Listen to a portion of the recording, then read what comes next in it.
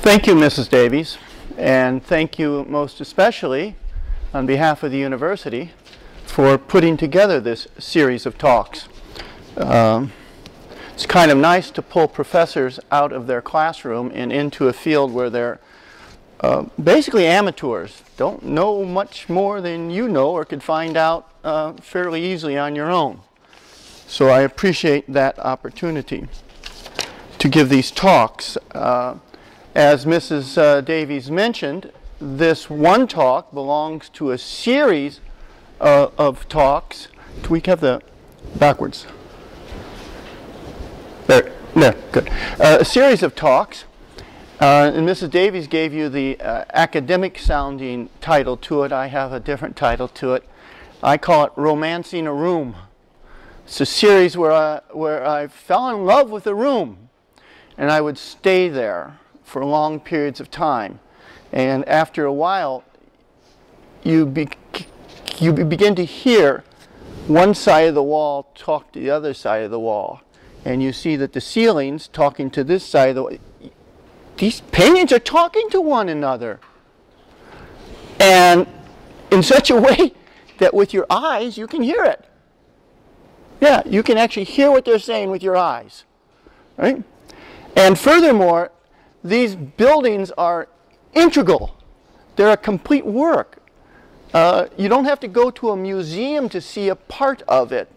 It's actually there where it does its own work, or at least once upon a time did its own work. They're, they're somewhat sleepy now and then until a person comes in and wakes it up so that it will talk again. So I encourage you to, to romance some of these rooms. Stay with it. It requires uh, that you grant that there's some intelligence there that you grant that, they're, uh, that they will speak to you a bit. And uh, you also have to, romance is not a bad word for this because you have to be taken by their beauty. And that's what keeps you there for a little while anyway, Do you begin to see that not only on the surface are they beautiful, but their thought is beautiful. And you can actually begin to see that. It's really marvelous. We don't do that anymore. I don't know of a modern building that does anything like that. Andrew, do you know of any building that no, they don't do that anymore. There's nothing to love in a building anymore, or at least to talk to. Anyway, whether that be the case or not. All right, I want to get on with this talk. It is called, uh, uh, uh, well, what is it called? A horrible title. The Civic Work of Mercy. All right? And it's also the meaning of Tintoretto's program for the Scuola Grande di San Rocco. And just so you don't get lost in all my words and pictures, I'm going to actually be doing, eh, this takes place in five chapters, very tiny chapters. I'm going to show you a place. Then I'm going to show you a patron. Patron here really means patron saint. Then I'm going to talk a little bit about an artist, Tintoretto. And then there's a, a, a, an institution particular to Venice called the Scuola, Scuole. Uh, you and I might literally translate it as school, but it's really not a school. It's, a, it's an institution where adult men or adult women congregate in order to do something special, usually of a civic uh, service or a religious service. And then Tintoretto decorated the Scuola San Roque, so I'm going to talk about his program. All right? So you can keep track as I go through these things. The program itself, in other words, what these, wor- what these pictures mean, what they say to us, is uh, the, the, the elements of the story, the storyline you will all recognize. It's called Salvation History, which has three or four moments in it. You guys know the first moment, right? Old Testament. What's next? Just guess. If the Old Testament is the first part, what's the second part? The New Testament. Right. And then the third chapter has to do with what's going on today. And the final chapter, which not quite written, but we can anticipate it, do you know what that is? No one knows what happens at the end. No one can, knows the end of the story here. Yeah, final what? The second coming or the restoration, uh, the return to, to paradise, really. Uh, uh, okay? So, uh, there's divine providence, but very, very selective. Then there is the display of works of mercy.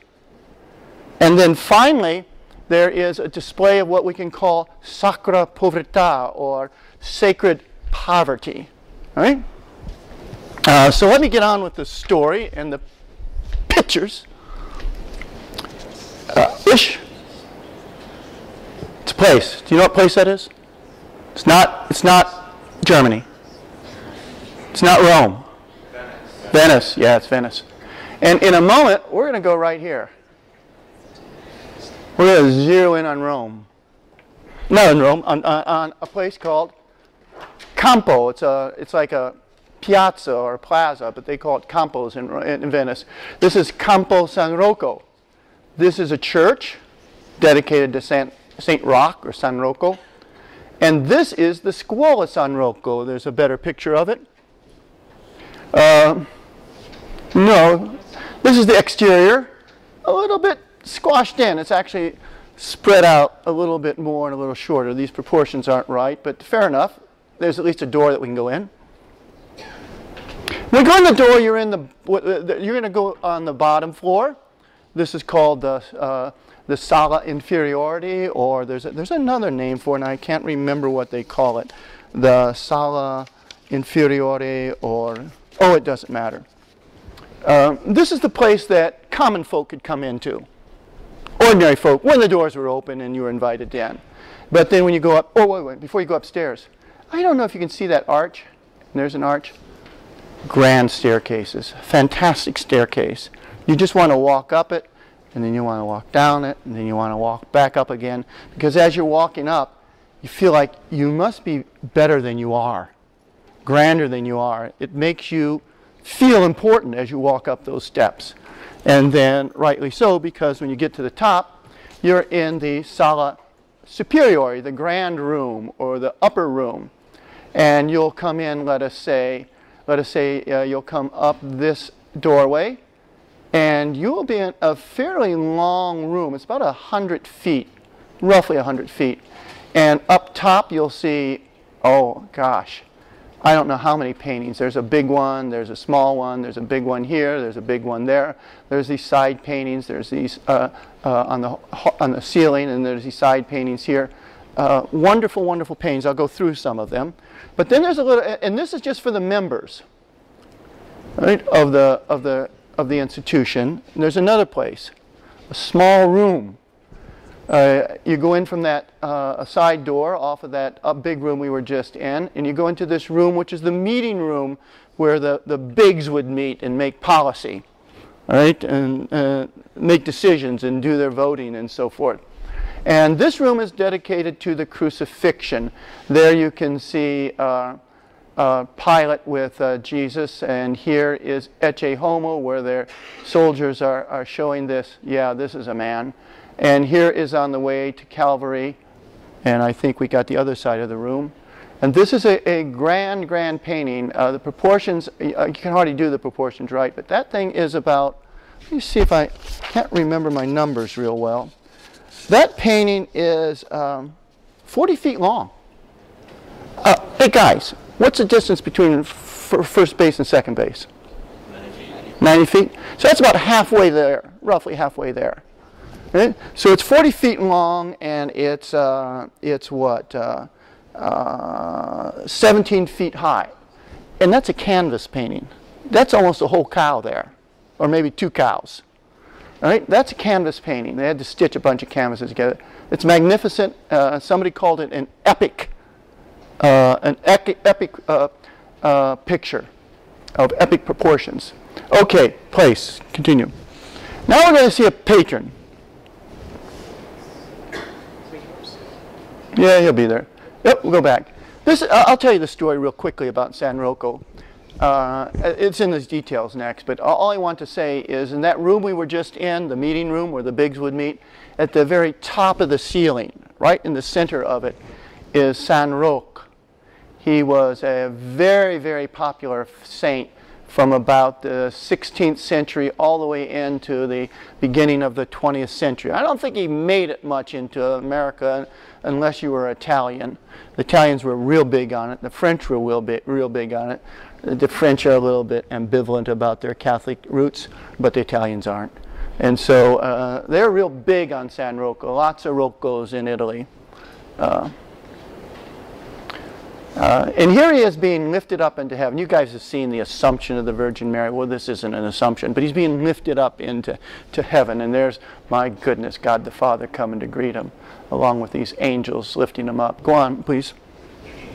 Well, here's, here's just the, the, the, the details on San Rocco. He's the patron saint.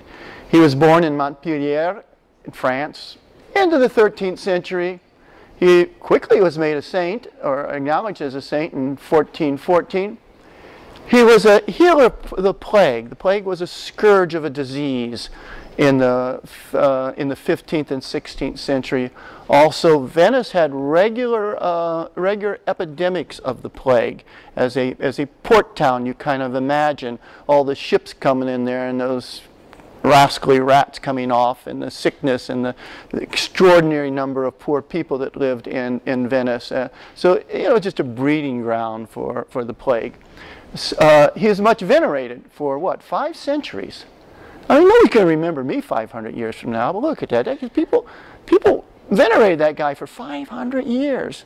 And here I am another 100 years later talking about him. Uh, the iconography, when you see him, he's usually wearing a pilgrim's cloak. He's got a staff, the gourd to drink water out of. He got a wound in his thigh, uh, usually kind of festering wound in his thigh, which uh, different stories told about that, but the most likely one is it was a, it was a sore that had, had set in from the plague. And at his feet there's a dog, because at one point he was so sick he could he just had to find a place to, to hide so robbers wouldn't uh, uh, uh, uh pester him. And the dog would come regularly and bring him food. His feast day is August 16th. And I told you that. All right, next. So that's the patron. Here's the artist. Yeah, he's there. I'm standing in your way, that's why. Uh, one of my favorite portraits of all time. This is a self-portrait. Look at it, just coming out of the black. This is Tintoretto. I think, if I can make that out, it says ipsum. Me. Myself. Let's see something about him. Let's get some data on him. He born and died in Venice. He apparently left Venice one time for less than a month. Can you imagine? Where are you from? Dallas. Can you imagine never going out of Dallas? Except one time? And you lived to be about 70 years old? He did. Socrates did that. He, he never left Athens except for one time to go to war. Uh, even Jesus wandered around. Uh, okay, his real name was Jacopo Robusti. His father was a, a dyer. And that's why, because he's a little short guy apparently. They called him the Little Dyer. That's where he gets his nickname, Tintoretto. Okay, okay. His wife was Faustina. They had a large, well, we think of it as large now. He had a middle-sized family. Uh, and he ran a prosperous workshop, a painting workshop. Employed the whole family a couple generations of them. And during this period of time, what is that, 24 years, he painted 64 paintings, all for that one room. He's doing other things too. But what you're going to see is a, a, a, building, upstairs, downstairs, and in the little room, with 64 paintings. He did them all. Okay, that's good enough. Scuola. Scuola is an institution. I'm going to tell you a little bit about the institution. It's right up there. I'll just read it as well as you do. Uh, they were civic associations. They were actually institutions. Uh, they're like the Holy Name Society or your mother's uh, sodality or the, um, the Nurses Association. But they were, they were local and they usually had just one outpost. Uh, that outpost was called uh, a scuola. But it was a recognized institution. These days we would say they were a 501c3 charitable institution. that's non-taxable. Uh, but th- they had the uh, you know stamp of approval by the state of, uh, of, of, Venice. Uh, they were organized around a particular nationality or a particular craft. You know, there was the carpenter scuola, there were the, uh, the Polish scuola, there were the, those who were devoted to the praying of the rosary, but they had different schools for all different reasons. But each one of them had a particular class of, of uh, they, de they devoted themselves to a particular class of infirmity or need, such as the blind, the orphans, the widowed, the hospitalized. And uh, as I can assure you, I won't go into the details, but the poverty in Venice uh, was huge. And it was um, multicultural, multinational. It was a real mess. They had the, the wealthiest of the wealthy in Europe, and they also had the poorest of the poorest on that tiny little island. No. They were self-governing. And the interesting thing is, by, by, by their constitutions, keep the priest away. No priest. They already had plenty of authority. And keep the patricians, the, the nobles away. No, they were not allowed to participate. They weren't allowed to rule. They could watch, they could donate, but they had no. This is very, very important because you see, in Venice, there were two classes that ruled everything until about, uh, let's say, about, about the 13th century. They were the nobles, the bigs, and there were the clergy. Right? Catholics, they're all Catholic. The clergy. And no matter how wealthy you are, no matter how intelligent you are, no matter how uh, talented you are, tough. There's no place for you in that world outside of do your job, keep quiet. Until they founded these institutions.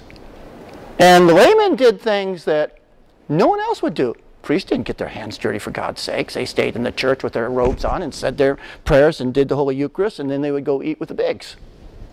The bigs didn't do that for God's sakes. They're of a different class. Right? They had no, uh, uh, but uh, so it was a highly structured society, and uh, no one was looking after the small or the little people. So these institutions allowed lay and middle class individuals a place to have a community and self-governance. Really important. Really important. You could probably figure out it was real smart of the bigs to allow that because what might happen if you got very intelligent, very wealthy, and uh, uh, individuals, large numbers of them, excluded from any kind of leadership? What in due time would happen? Talk out yeah, they would revolt. They would revolt. You have to give people a place. And so it was, a, it was, a, it was an incredibly ingenious strategy. Uh, they gave the lay people a place, and furthermore, it bound the poor to the lay people. It was, a, it was an ingenious social structure. Uh, in the 16th century, that's the 1500s, there are 120 of these things in that tiny little island. 120 of them. In 1723, there were 357 of them. When Napoleon came into power, took over Venice, there was one. He got rid of them all because he didn't want anything in between him and people. He allowed no intermediate institutions. He didn't allow that in France either. All unions, all social clubs, uh, institutions, flat, no. He couldn't get rid of San Rocco because it was too wealthy and too powerful. So it endured. Okay, now this is a problem. Money is a problem, folks. Not for you, you don't have enough of it. But when you get enough of it, it's usually a problem. Uh, my mom always used to say, try me, test me. nobody tested her. She died poor. Uh, and Scuola became wealthy and influential. San Rocco became extraordinarily wealthy, and they spent the money on themselves. They spent money on fan, uh, fantastic parades, fantastic uh, entertainment uh, uh venues, and they built and hired the best of architects, sculptors, and so they just used their money to aggrandize themselves. So it's wealth fed ostentatious pride of the membership, and the poor and the needy, which was their purpose, took second place. You can probably figure out that happens a lot even among the holiest of us. Uh, uh, well, as a result, San Rocco, the scuola, the institution, was subject to public ridicule. If they ever wanted to talk about a hypocrite, they just said San Rocco. Everybody knew what they were talking about. Right? Uh, they were uh, publicly ridiculed for their extravagance and their hypocrisy. That's when Tintoretto comes into the scene. When he built this school, I'm going to get the pictures, just wait. Uh, when he built this school, he had two intentions. 64 of these canvases telling one single story. Complicated, but one single story. First of all, it was a public apology. With these paintings, the members of San Rocco were saying to the rest of Venice, we really are committed to that high work of ministering to the sick and poor. We really are. And if it seemed otherwise, we apologize. They're given an, an, explanation of what it is that they stand for. So when you look at these pictures, remember the, the, the storyline in there, which is uh, divine providence, is also uh, a, a, message to the world. This is what we stand for. The, my cousin has the biggest forearms of any short guy I know. And he's got a tattoo here. His brother made it. Good tattoos, too. I'm not fond of tattoos, but if you got to have them, there's a one. And there's a tattoo here. There's one here. There's one here. I mean, his, his forearms are like my thighs. Right? I said, uh, hey, Tom, what, what, what you got there?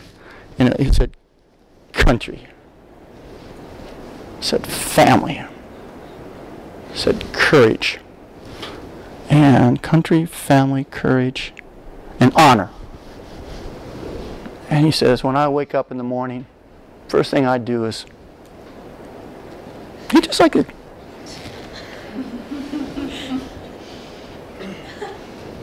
now I know what I stand for, and I'm ready to start the day. Right? Well, Tintoretto, tattooed that building.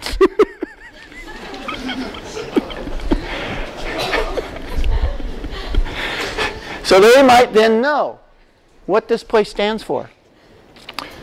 Okay, that's the public side of it. There's also a private side of it. He was aiming at, he, by the way, by all accounts, was a very holy man, and a very serious holy man and a good family man, um, uh, besides being a world-class, all-time world-class uh, painter. He was interested in interior uh, restoration. For those who had the eyes to see, or shall I say the eyes to hear, those paintings would talk to the members of San Rocco, and it would call them to a personal identification with Christ. Christ's self-effacing love for the poor and for the people of ordinary classes. And when you see one of these paintings, you'll either see Christ in all of them or somebody who stands for Christ, such as Moses. And in those cases, there will be plenty of ordinary folks surrounding them. Often, they're all over the place. You see them, and the Christ figure's in the background. I mean, he's important, but he's in the background. Right? Guess who wasn't always in the background? Members of San Rocco. and the, and the, the poor people, uh, impoverished people, were in the shadows. Well, Tintoretto turns it all the way around. Okay, so this is the, this is the, go on. Uh, where are we? Okay, here's the program. Go on, please. It starts, as I tell the story, in the middle. Um, uh, you guys got a little picture, a little diagram here, right? You can thank me later. It's a really nice diagram. Right here. This is the upper room, big upper room. And we're right there in the middle of that big upper room. and right there is a picture. And while I'm turning my pages to tell you how big that son of a gun is, you tell me what's going on there. That thing is 27 feet long, or high, I guess you could say, and uh, 17 feet uh, So 17 by, what did I say? 27? That was a big painting. What's going on? What do you see here? Go forward. Go forward first. I'm going to come right in here for, for you. Oh, what do you see there? News, right. And, ooh, what's that? Ooh. Now let's go back. Okay, this painting is pretty neat because you've got a diagonal here and there's something going on up there. There's a diagonal here and right sort of the interface of the center of those diagonals you've got this which this fellow's pointing to. But nobody knows what that is, right? Fair enough. Fair enough. Go on. Go on. Uh, let's go to the Bible. Numbers. Who can read that? Raise your hand if you can read that. All right. Would you please read it aloud? Me? Yeah, yeah. From Mount Hor, they set out on the Red Sea Road to bypass the land of Edom. But with their patience worn out by the journey, the people complained against God and Moses. Why have you brought us up from Egypt to die in this desert, where there is no food or water? We're disgusted with this wretched food. In punishment, the Lord sent among the people seraphs, serpents, which bit the people, so that many of them died. Then the people came to Moses and said, We have sinned in complaining against the Lord and you. Pray the Lord to take the serpents from us. So Moses prayed for the people. And the Lord said to Moses, Make a seraph and mount it on a pole. And if anyone who has been bitten looks at it, he will recover. Moses accordingly made a bronze serpent and mounted it up on a pole. And whenever anyone who had been bitten by a serpent looked at the bronze serpent, he recovered. So just go back for a moment. Uh, more. So who do you think this is? And what do you think that is? A bronze serpent. And these people are being attacked by the serpents and they're getting becoming sick and they're dying from it. But if before they die, they're able to get up here and take a look see at that, they shall be healed. All right? Now, just imagine this is that hallway. And just imagine this is 100 feet from there to there. Uh, right in the middle would be where this painting is. Continue. Continue. All right. Down at this end, can you guys guess what that is? Who that is and who that is? Yeah, yeah, Adam and Eve. This is called the temptation of Adam. She got it in her hand and she's tempting Adam, and you know the story. So that's right up here. Continue. So that's Adam, the moment of decision, and from that sin will come thirst, hunger, sickness, and death. We've already had God dealing with sickness and death in the Old Testament. Ah, what's coming from that rock? Water. That big painting's right here. So you got Adam and Eve, you got this big painting, and you saw the brazen serpent. So this is Moses feeding them. Continue. All right. Well, I don't know. Is that going for? Yeah. And, oh gosh, this is a bit confusing to see it on the reproduction. But can anybody figure it out? These people are holding up plates, and there's something white falling from heaven. Can you all guess what that is? That's the manna. They're hungry. They're out in the desert. That painting's right here. So you got Adam and Eve. You got Moses in the water. You got Moses uh, healing the sick, uh, keep uh, pr preserving them from death. And you've got Moses in the water. Continue. So you got these three dominant images. The Lord provides for the needs of those who are gathered within the faithful, who are gathered within and faithful to the laws of Moses, miraculous water, miraculous bread, miraculous healing. It's all very obvious. Continue. Oh, way down at the end. This is very hard to interpret. You almost need a me to help you with it. Uh, this is a, a, very foreshortened picture of, uh, of the Passover feast. The Passover feast. All right? And do you guys remember what the Passover feast rec uh, uh, uh recollects? It's a moment in Jewish history where they recollect something. Huh? Talk so somebody can hear you. Yeah, leaving Egypt, where, where, where the Lord uh, releases his people from that sort of slavery from Egypt. All right? And just before they leave, they have this, this, this feast before the Passover. All right? And then ever after the Jews remember that. And we, we, we Christians, or let's put it this way, Catholics remember it, and a lot of other Christians do too, on Easter Sunday. But what do we recollect? What's our Passover? Easter Sunday, what do you do besides eggs? Easter bunny? So what, Joseph? Talk up. Uh, you celebrate the. Yeah, the resurrection of Christ. Thank you. All right. So now, there is the Passover feast, and I can tell you that if you go there and you come right down here and look more or less at ground level, there's an altar. And at certain times, they would celebrate Mass on that altar. Continue. So, how do you read this? Well, Tintoretto's ceiling moves from the fall of Adam all the way to the Passover, and that is just above an altar.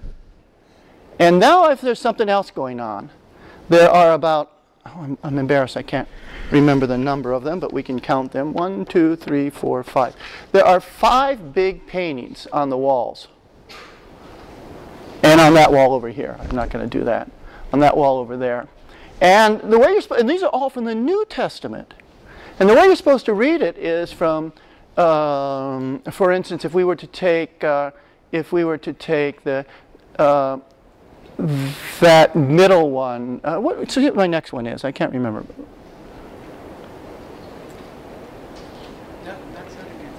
Are you going? Okay. Here, here's an example. For instance, this is Jesus feeding the um, feeding the uh, the loaves and fishes to, to the people, and the next one. And this is the Last Supper. So on one side, there's the la- of the uh, wall. There's the Last Supper. Over here is the uh, the feeding uh, of the th- of the five thousand with the loaves and fishes, and right up there.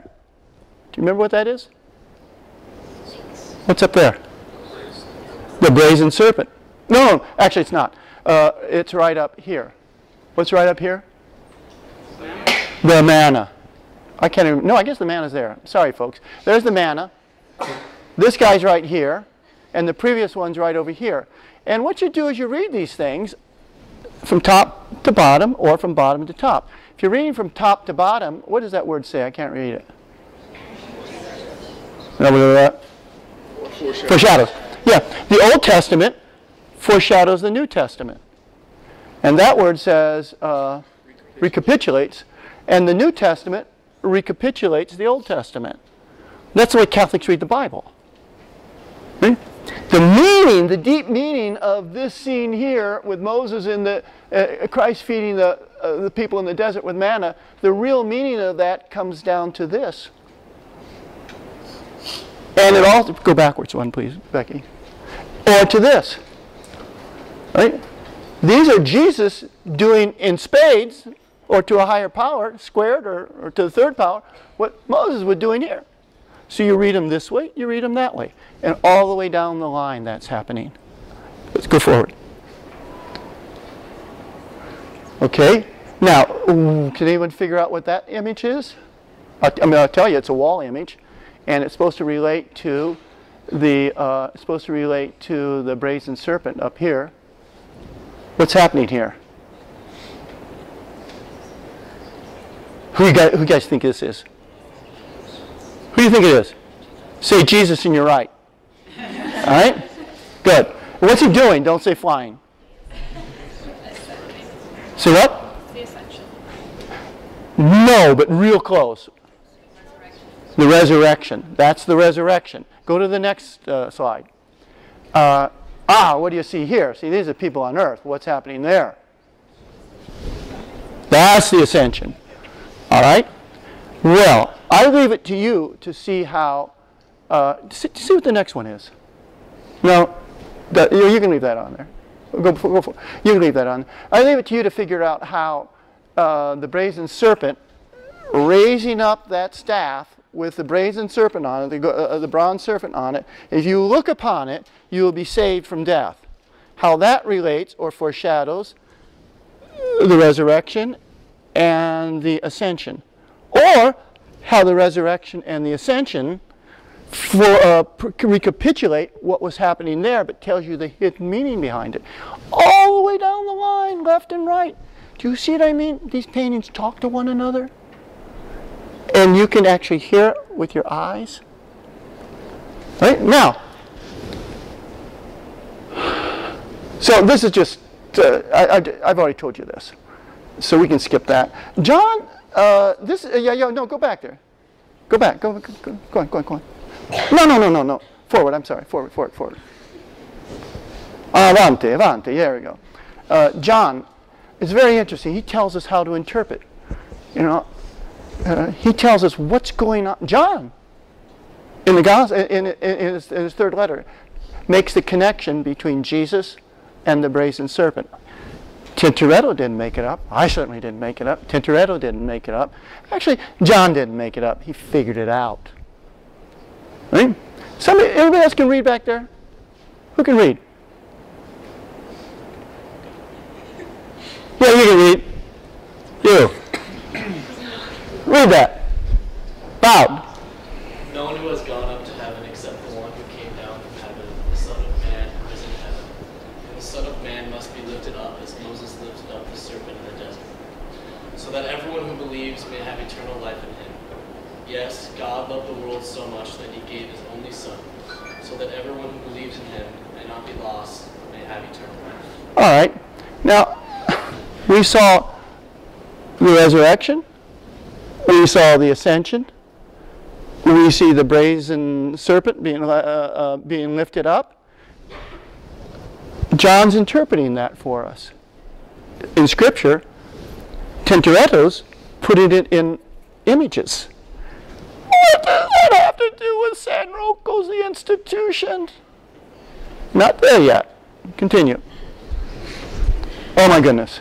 This is not a very good reproduction, uh, but it's good enough. Remember this thing's 40 feet long. And so what is that, about 17 or 18 feet tall? Uh, it's actually much longer. These proportions are a bit off. And what do you see in the middle? the crucifixion. Uh, you see a gathering of people over here. These are the guys throwing dice. Uh, if you look closely, you'll see there's probably John, and there are the Marys, uh, and uh, probably Joseph Arimathea or one of those characters. And, and look where Jesus is. What do you think this guy's doing? What do you think he's doing? This guy. No, you're, you're, it's a very good guess. It's just wrong. He's pulling somebody else up. He's pulling somebody up. Who do you think he's pulling up?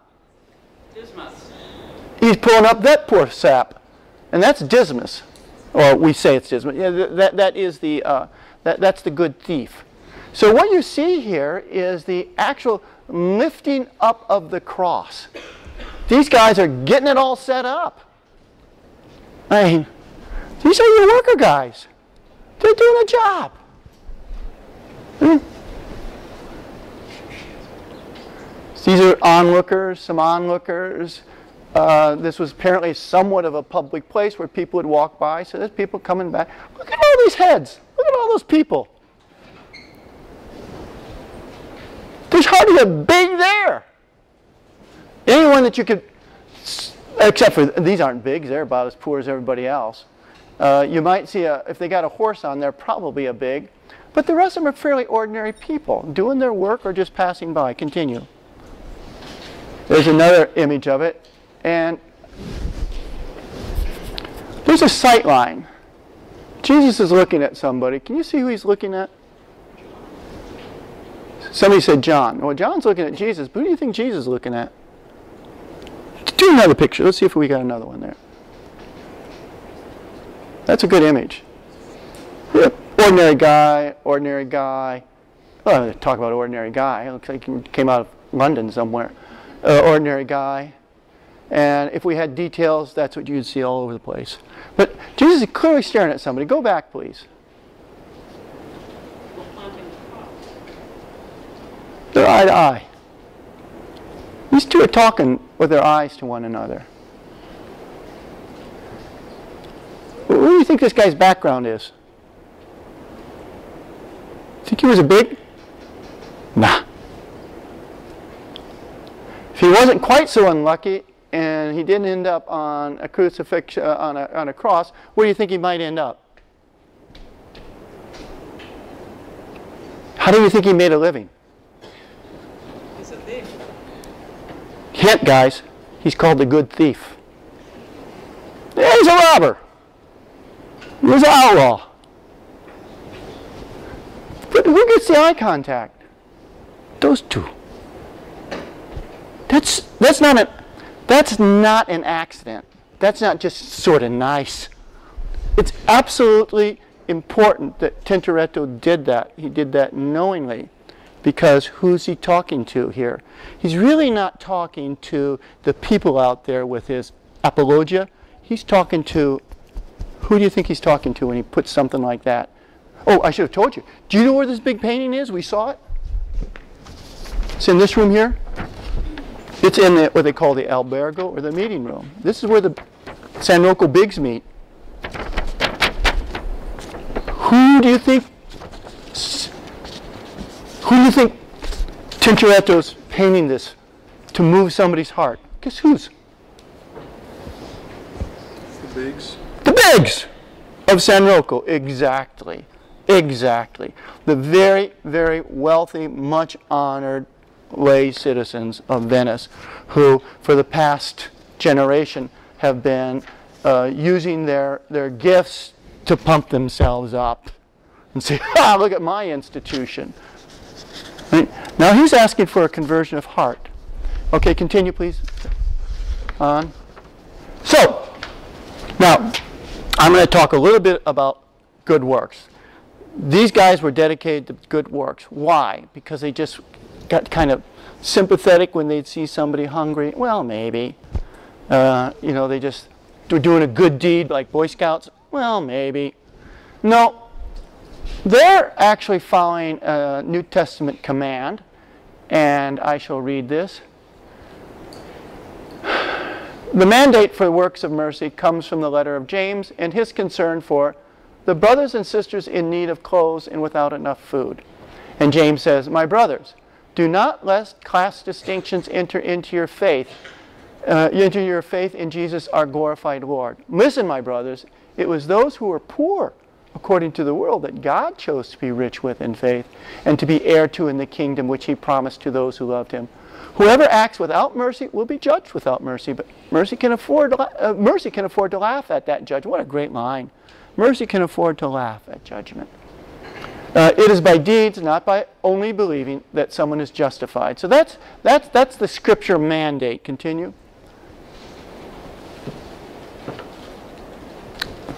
So the program of Sacra Povertà. Tintoretto here is incorporating a universal call of the Christian to works of mercy. And there's lots and lots of evidence that his spirituality was probably very much influenced by, by a devotion to St. Francis. He might even have been a third order Saint, uh, Franciscan.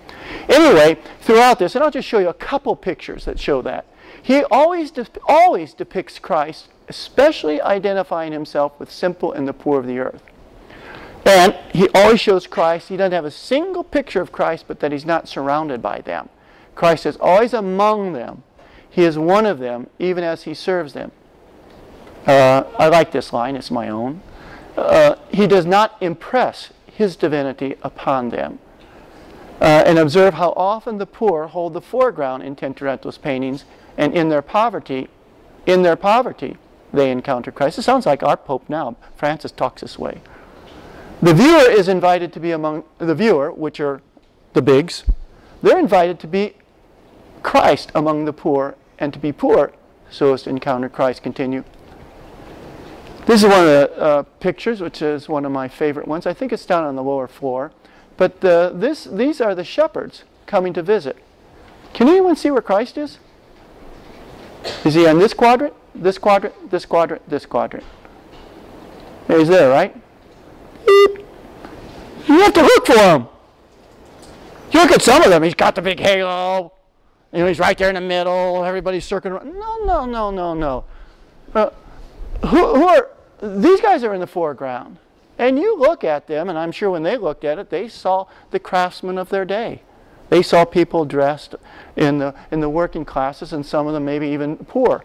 Down there with the cow and the rooster.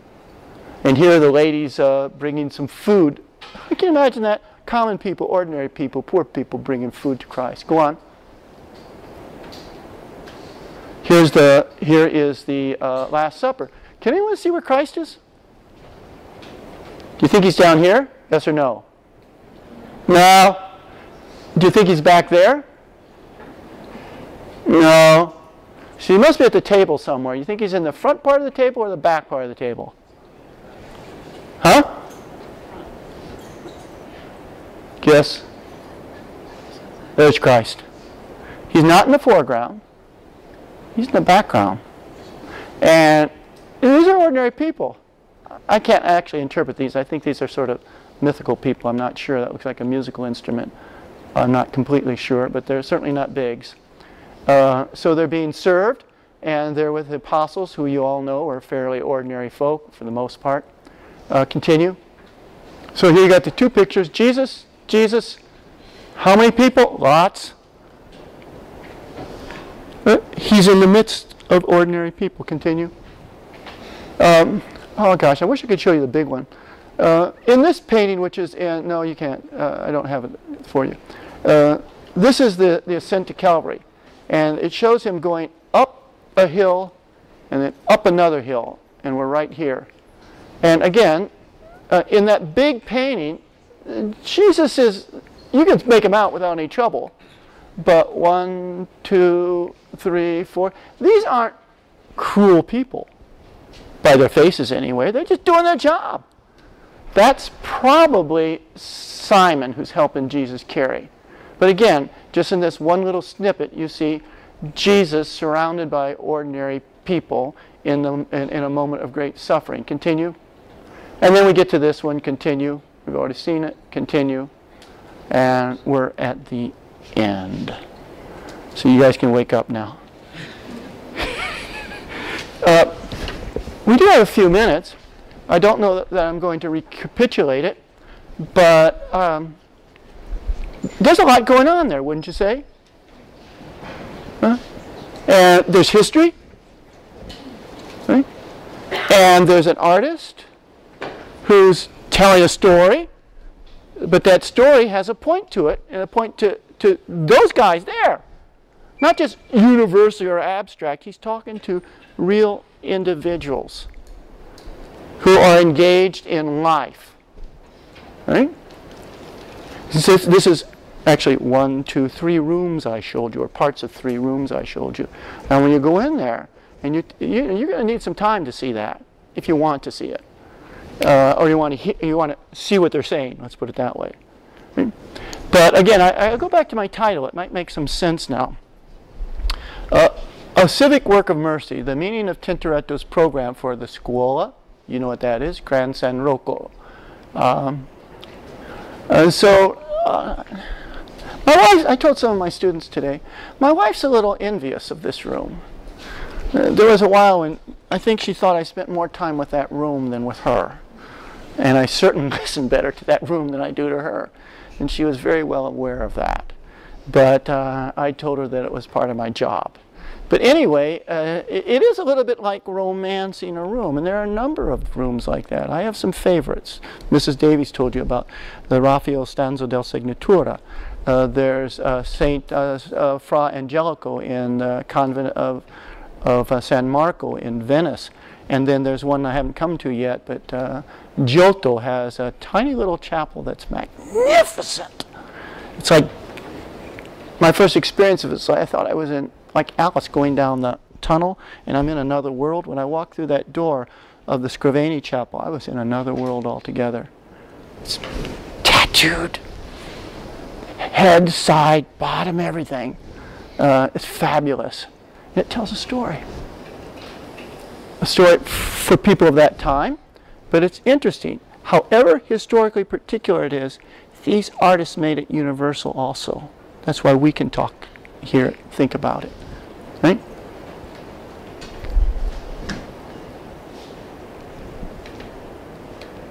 I think you can only see something like that in, in Europe. Maybe I don't know enough about South America, Africa, or Asia. I'm pretty sure you would find something like this in Asia. Not the Christian story, but a, a whole program. But mm, pretty hard to find one in America. You have to go to Europe for that. Or listen to me.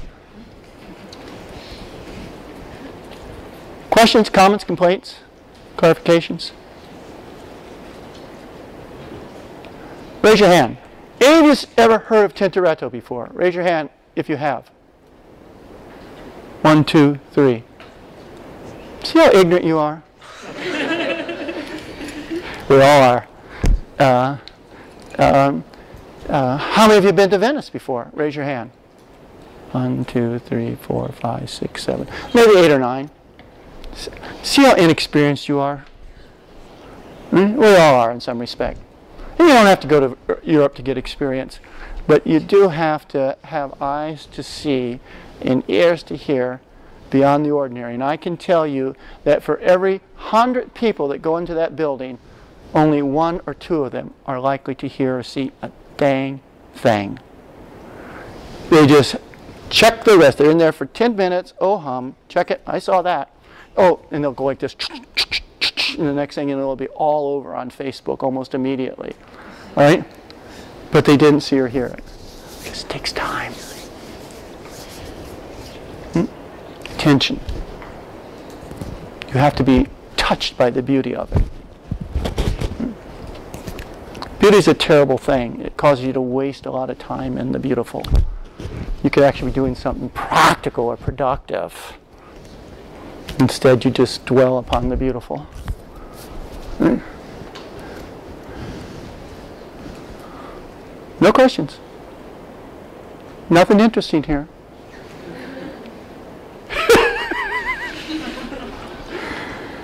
oh, well. Yeah, Joseph. Can we go here to this building with the, the art art class program? Or I don't know what they do now. Each uh, director does things differently. When uh, in the years that I went, uh, we would go to Venice. I think, except for one year, we all always went to Venice, and there were certain trips that everybody went on. But then there would be free times in which different professors would offer different options. I offer, always offered this option. Uh, so i- it was always on an optional one. This, this place is too much to see. You can't see everything, so you have to break off a little bit. And it's probably unfair to make everybody see the same things, but everybody should see some of the same things, but then you should have. So, but you go there, I don't know what the ticket is, but it's perfectly reasonable. It's really well kept. I told the story of the history of that building and the meaning of it. Another story is who takes care of that building that it's so perfect? You know, preserving old things is really an art. And we are so dedicated to that. It's so great. I have to be grateful to people who do that kind of thing. That's one of the most. There's about four or five really greatly preserved buildings, and that's one. It helps to have money, like San Rocco does, but even so, if you don't have money, I mean, if you have all the money in the world, but you don't have taste or you don't have generosity, it doesn't do any good. Some of us have all kinds of taste. Some of us have generosity, but we don't have no money. You have to have all three. Just remember that. Some of you are going to be rich. It won't do you much good if you don't also ha- have taste and generosity. But you put those three together, and the world will love you.